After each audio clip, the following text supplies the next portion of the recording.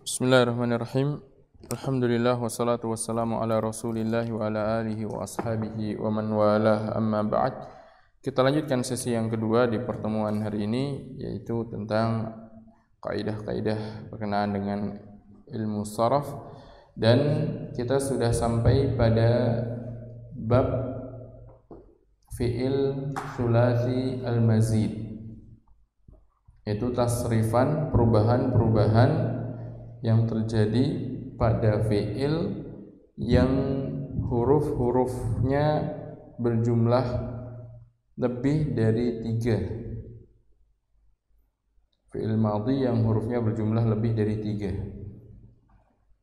Meskipun huruf aslinya tetap tiga saja. Makanya dikatakan atau dinamakan sulasi fi'il sulasi fi'il yang huruf aslinya tiga mazid namun ditambahkan huruf lain yang merupakan huruf tambahan pada fiil madhinya. Pada pertemuan sebelumnya kita sudah mempelajari bab pertama dari sulasi mazid tersebut yaitu bab af'ala. Masih ingat tasrifannya? Af'ala yuf'ilu if'alan. Kemudian isi apa? Muf'ilun muf'alun af'il la tuf'il muf'alun muf'alun uf'ila yuf'alu. Itu bab pertama. Bab kedua hari ini adalah tentang fa'ala dengan tasdid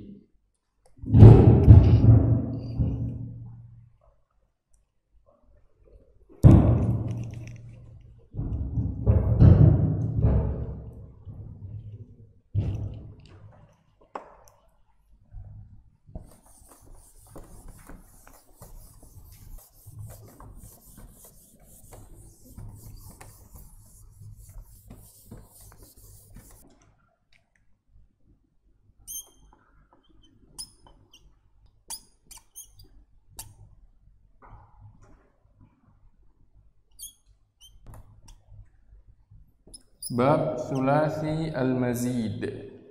Sulasi mazid apa maksudnya? Fi'il yang huruf aslinya tiga, tapi sudah ditambah dengan huruf lain pada bentuk fi'il madhinya. Kita melihatnya ke bentuk fi'il madhi, bukan mudhari. Kalau mudhari jelas sudah ditambahkan lebih dari tiga. Bahkan pada yang sulasi mujarad sebelumnya juga sudah lebih dari tiga. Tapi kita menamakan ini melihat kepada bentuk fi'il madhinya. Kemarin kita sudah bahas tentang bab af'ala. Sekarang kita beralih ke bab yang berikutnya yaitu bab fa'ala. Tertulis hanya tiga, tapi ada tambahan tasdid. Tasdid itu sebenarnya menambahkan huruf itu double. Double hurufnya sama beriringan, maka daripada bacanya fa'alalah ditasdidkan. Jadi fa'alah makanya dia tetap masuk dalam kategori sulasi yang mazid. Karena sebenarnya hurufnya empat. Fa ain ain lam. Baik. Tasrifannya adalah fa'ala yufa'ilu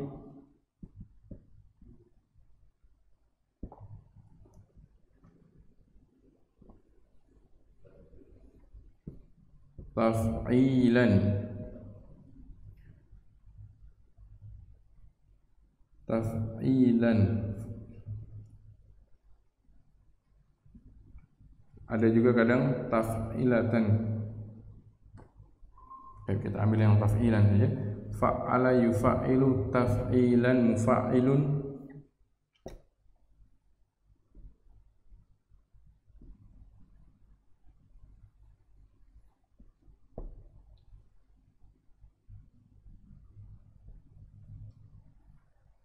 mufa'ilun mufa'alun.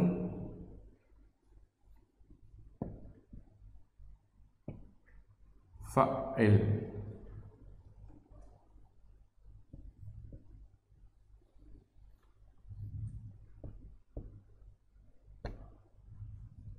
La tufa'il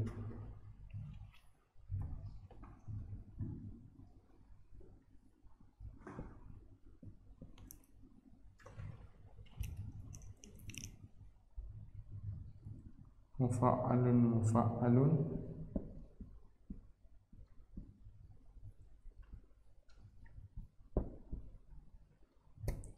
fu'ila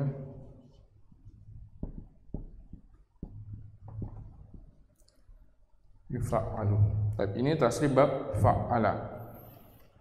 Mari kita perhatikan fa'ala yufa'ilu taf'ilan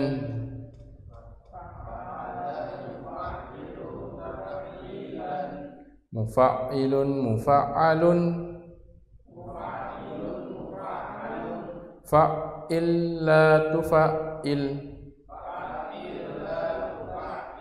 Mufa'alun mufa'alun. Fu'ila yufa'alu. Sekali lagi. Fa'ala yufa'ilu taf'ilan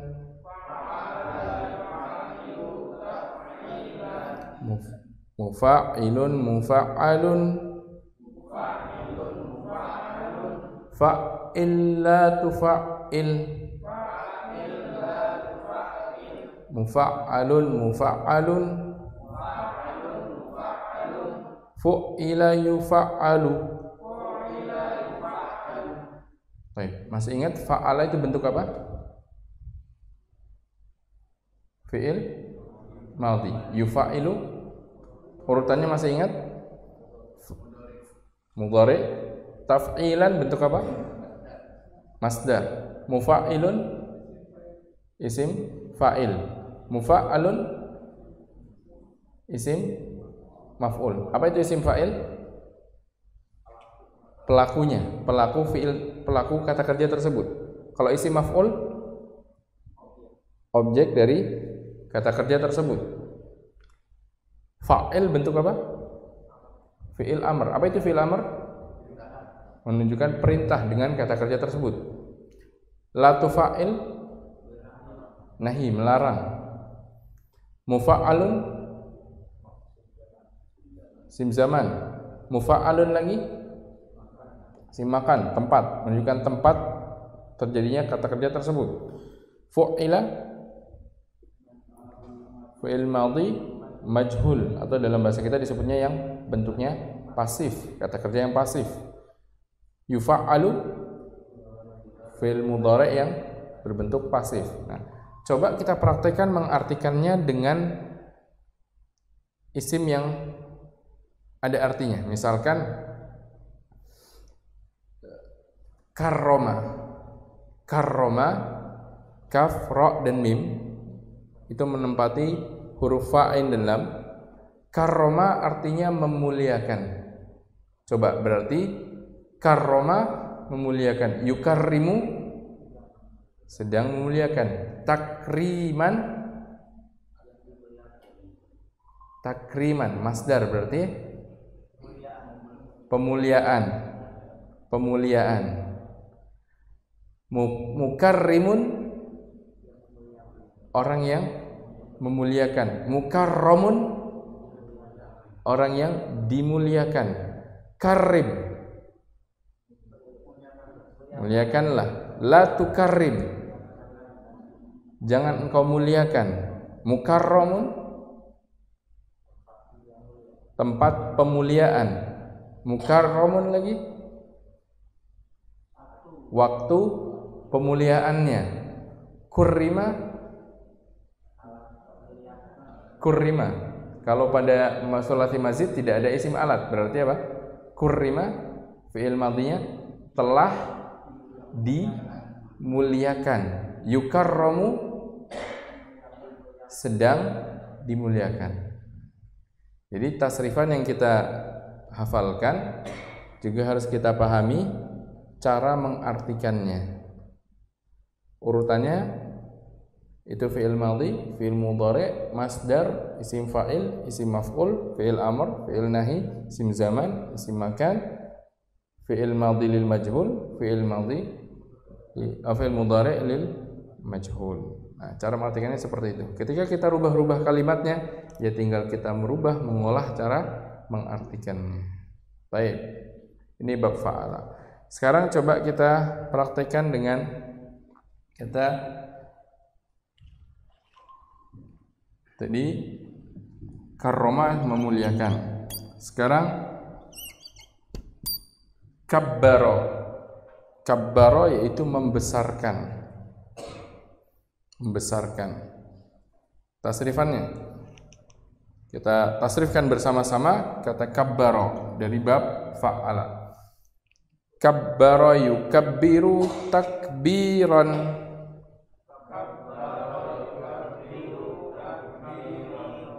Mukabbirun mukabbarun.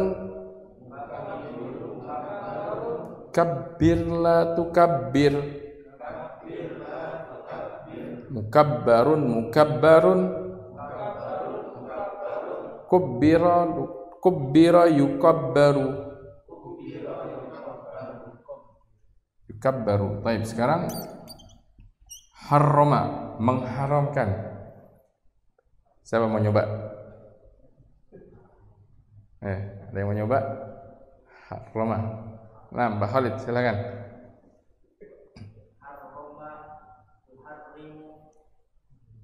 Hmm?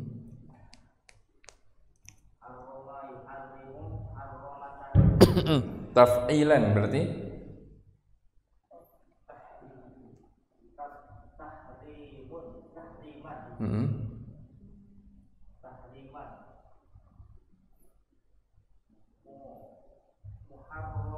Hmm. Hmm. Hmm.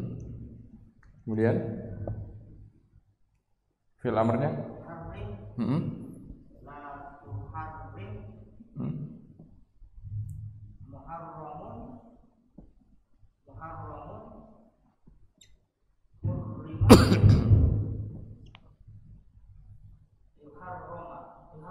Yuharramu Naam.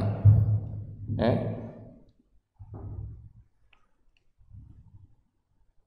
Uh, Baik, kita lanjut bab berikutnya. Contoh kalimatnya anak kasih contoh saja nanti seperti tadi diinikan lagi di perbanyak lagi syarrofa memuliakan juga kemudian uh, seperti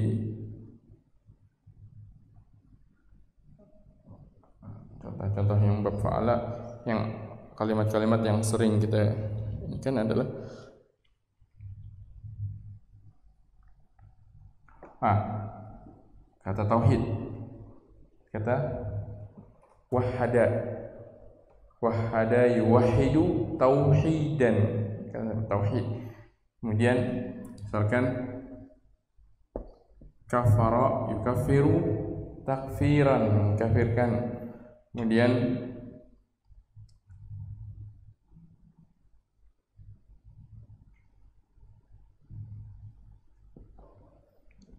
qallada taklid. Qallada yuqallidu taqlidan silakan nanti dilatih sendiri untuk di rumah. Anak kasih contoh-contohnya di antaranya ini sering kita apa gunakan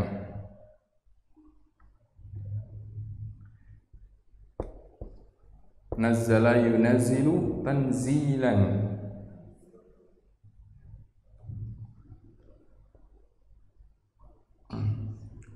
Sahala yusahilu tashilan. Memudahkan. Baik. Kita lanjut ke bab yang berikutnya.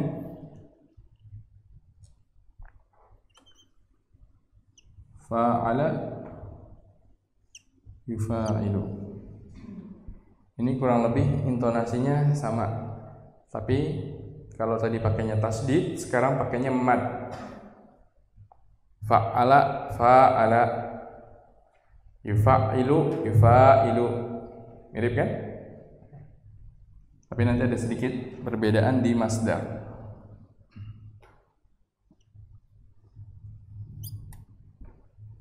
Mufa'alatan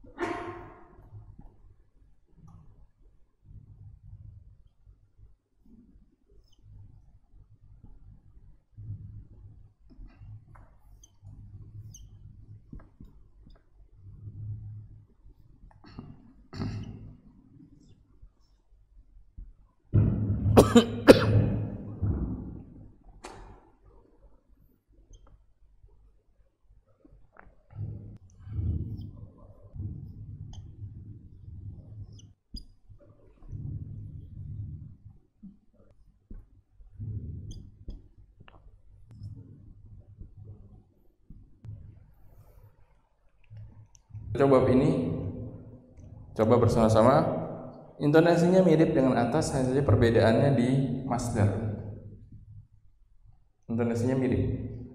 Kita coba fa'ala yufa'ilu mufa'alatan wa fi'alan. Nah, coba. Wa fi'alan ada dua dia bentuk masdarnya. Yang sering dipakai ada dua.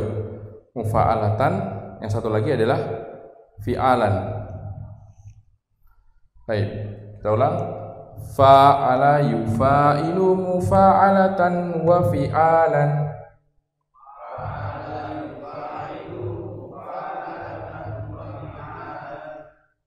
Mufa'ilun mufa'alun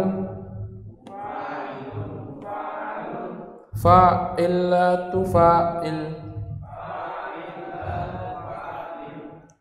mufa'alun mufa'alun.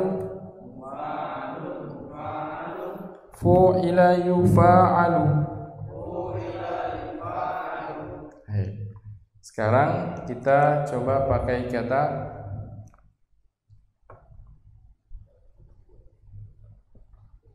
sahaba sahaba itu artinya adalah membarengi atau mensahabati men, men, mendampingi ya atau menjadikan teman, menjadi temannya. Sahaba yusahibu musahabatan.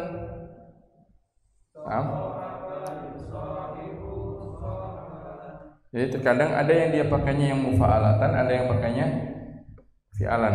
Jadi kalau mungkin lebih sering yang mufa'alatan, yang kita pakai yang mufa'alatan saja. Baik. Kemudian kita ulangi صاحب يصاحب مصاحبة.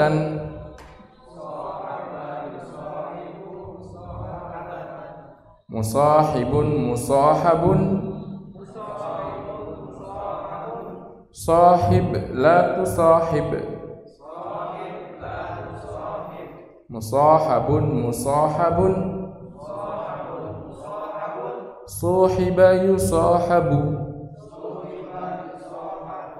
Yusahabu Sekarang kita coba pakai kata lain yaitu uh, jahada jihad. Jihad. Jahada yujahidu mujahadatan wa jihadan.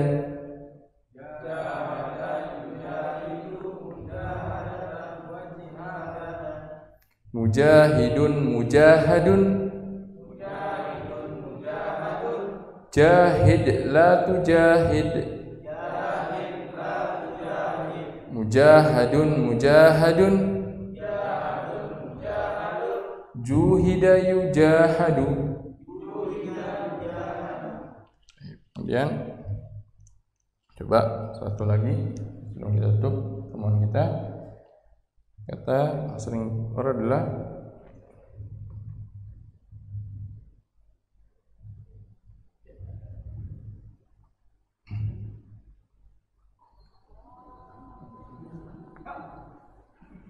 nafaqa munafik. Menjadi munafik. Taib. Nafaqa nafaqa yunafiqu munafaqatan wa nifaqan.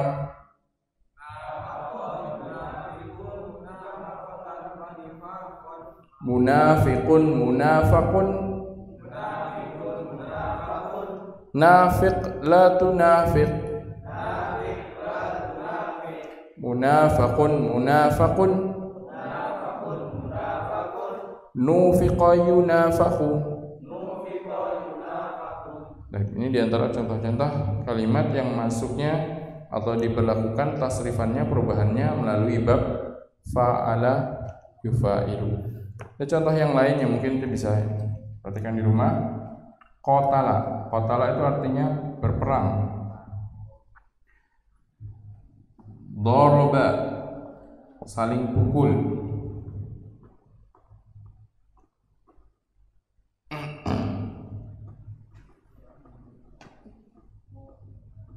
terus.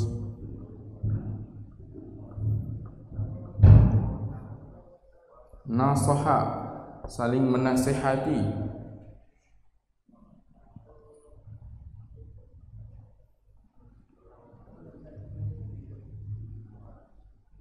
Dafa'a saling mendorong. Mudafa'atan. Tau diartikan juga mendorong itu membela dafa'a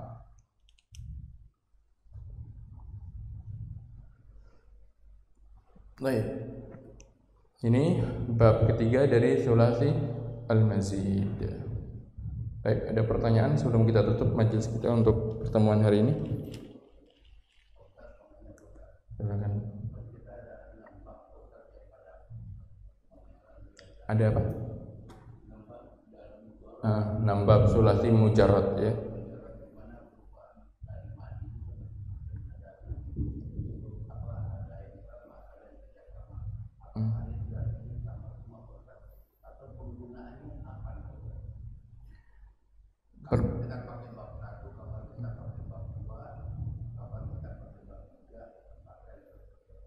Hmm. Kalau pada sulasi mujarrad eh, yang saya tahu tidak ada eh, penentuan kapan dia eh, masuknya bab 1, 2, 3, 4, 5 atau 6 dalam maknanya. Setahu saya tidak tidak tidak bisa kita tentukan berdasarkan makna maka dia masuk di bab 1. Kalau makna ini maksud dua tidak.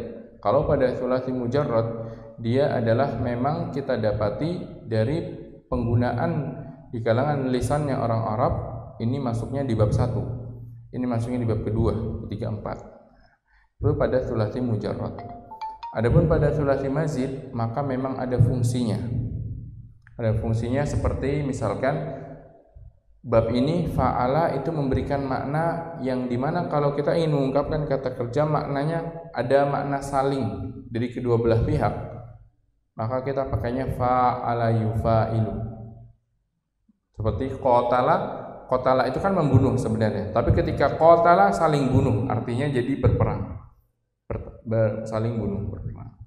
Doroba itu artinya memukul kalau pada sulasi mujarrad. Tapi ketika dimasukkan pada doroba artinya jadi saling pukul saling nasoha itu menasehati tapi ketika nasoha saling menasehati satu dengan yang lainnya. Jadi kalau pada bab sulasi mazid memang ada sebuah makna khusus yang itu menjadi sebab kenapa dimasukkan di bab tersebut. Tapi pada sulasi mujarrad setahu saya tidak tidak ada. Jadi itu memang dapatnya dapatinya dari penggunaannya pada orang-orang Arab mereka memasukkannya ke bab pertama atau kedua atau ketiga. Wallahu taala. Baik, mungkin kita cukupkan dulu untuk pertemuan hari ini sampai di sini. Semoga bermanfaat dan semoga ilmu yang kita pelajari ini menjadikan ilmu yang bisa eh, bermanfaat untuk kita semua dan juga bermanfaat kelak untuk orang-orang yang kita ajarkan. Wassalamualaikum Muhammadin wa alihi wa sahbihi wa sallam. Subhanakallahumma bihamdik asyhadu an la ilaha anta astaghfiruka wa. Wassalamualaikum warahmatullahi wabarakatuh.